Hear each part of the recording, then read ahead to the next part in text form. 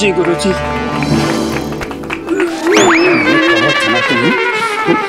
सावधान रहना और ध्यान से स्तंभ की सुरक्षा करना क्या ये कैसे हुई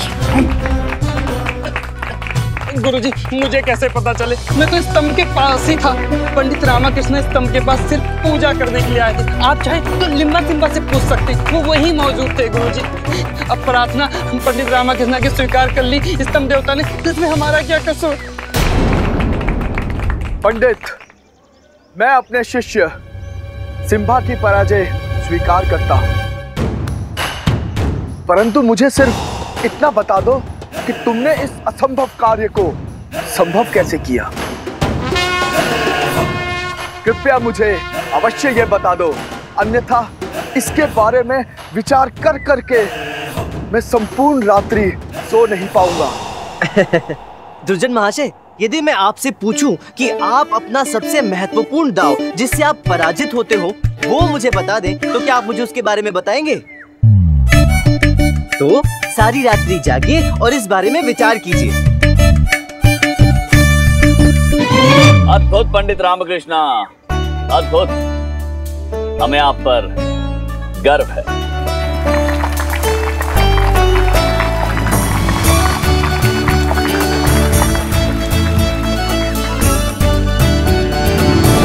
क्षमा करें महाराज, परंतु अभी विजय और पराजय का निर्णय नहीं हुआ है। ये तो मात्र योग्यता का परीक्षण था। वास्तविक मलयुद्ध तो पंडित रामा को मुझसे करना है। जो अभी शेष है। दुर्जन मैंने अपने बुद्धि बल से तुम्हारे दोनों शिष्यों को पराजित किया है। तुम्हारा सम्मान अभी भी बना हुआ है। केसरी वल्लभ को पराजित करके तुम अभी भी विजेता हो। चाहो तो एक विजेता की तरह विजयनगर से सम्मान प्रस्थान कर सकते हो। दो द्वंद का परिणाम तो तुमने देखा ही है। दुर्जन, आज तक कभी भी किसी मलयुद्ध से नहीं भागा है। अब मैं सीधे तुमसे मलयुद्ध करूँगा। तुमको कीड़े की तरह मसल दूँगा।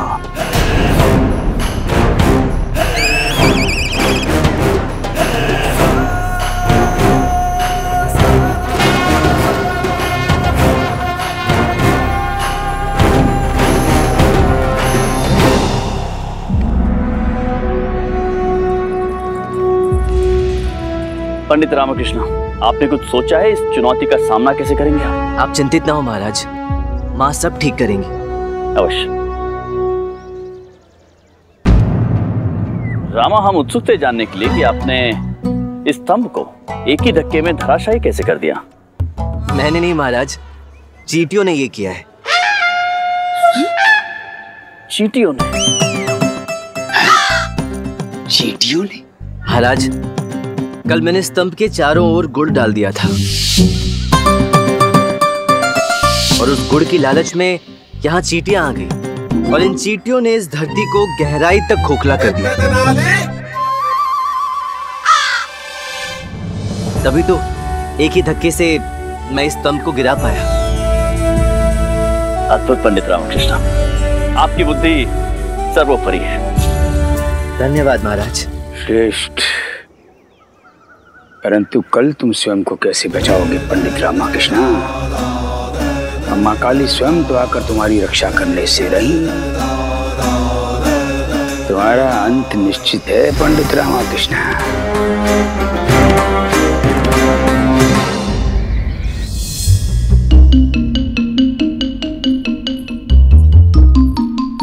आपको क्या हुआ?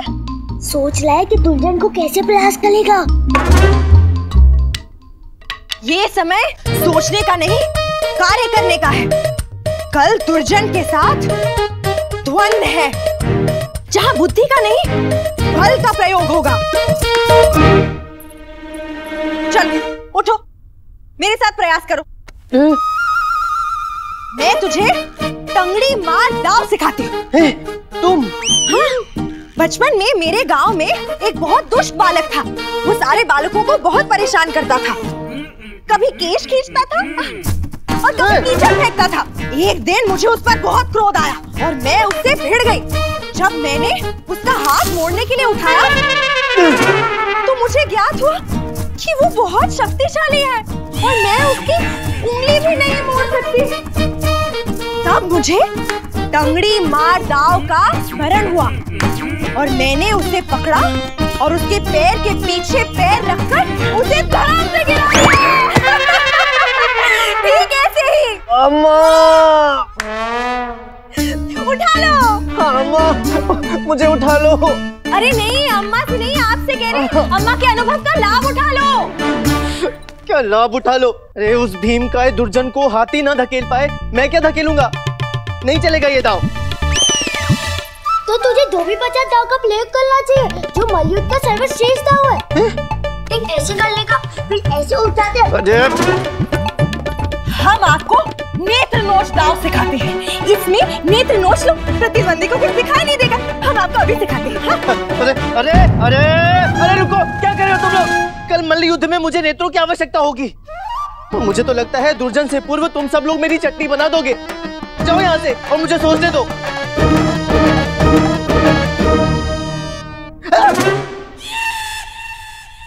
मैंने कहा यहाँ से जाओ और मुझे सोचने दो।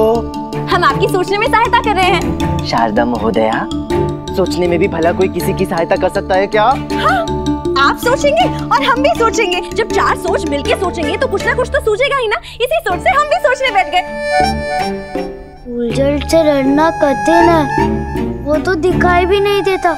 उसके सदैव चारों ओर धुआँ लेता है और कहता रहता है कि की तरह मसल कर लग दूँगा।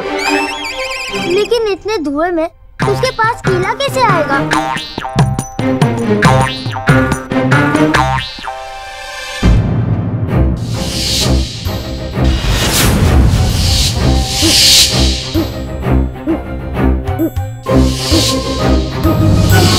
कीड़े की तरह मसल दूँगा। ओ गुंडप्पे तू तो बड़ा बुद्धिमान निकला। क्या युक्ति दी है? मैंने ऐसा क्या कहा? चमत्कार किया तूने। चल मेरे साथ फिर समझाता हूँ तूने क्या कहा। हमें भी समझाइए। पहले मुझे इस युक्ति का परीक्षण तो करने दो फिर समझाऊँगा। चल गुंडप्पे चल चल चल चल। जल्दी चल। चल चल चल चल चल। चल, चल। गुरुदेव भोजन से पूर्व दूध पिएँगे क्या? कल पंडित रामाकृष्णा के साथ आपको मलयुद्ध करना है।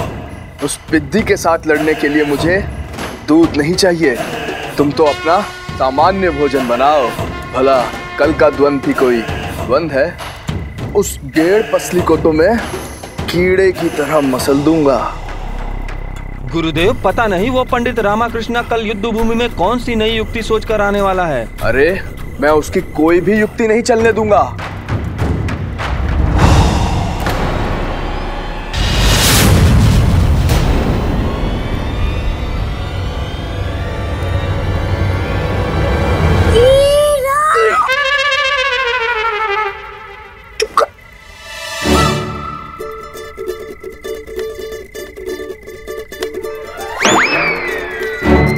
आएगा आनंद।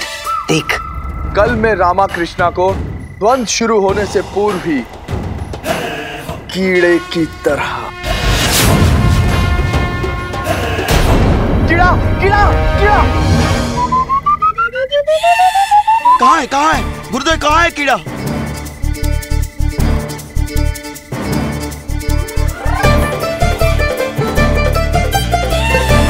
कहा है गुरुदेव कीड़ा? ये कीड़ा तो बहुत दुष्ट है। इसमें तो धुएँ का प्रभाव भी नहीं हो रहा। समझ गया लामा। इसलिए दुल्हन चारों तरफ़ धुआँ कर कर लगता है। बोरा बोरा बोरा जल्दी पकड़ो उसे। बोरा